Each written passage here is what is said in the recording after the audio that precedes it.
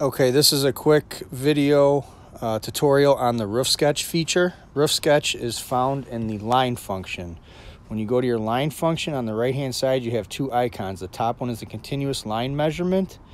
Click that and the roof sketch feature will pop up. The icon down on the bottom right. Uh, first, you just want to calibrate. Bottom right crosshair, tap that, you're done calibrating.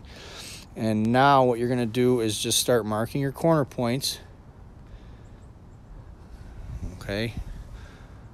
If you can't see the dot, tap the screen, a crosshair will come up right where the dot is, and you can mark your points that way.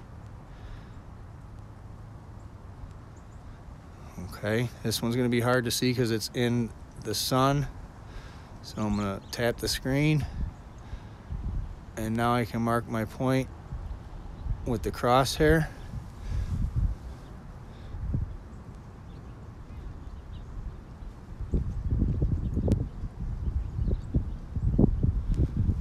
Okay, I'm a little shaky. I'm on a tall ladder here.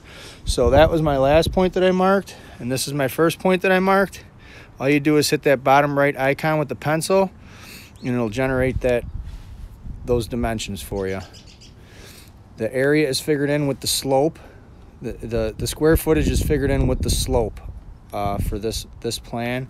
And you have all your uh, perimeter dimensions.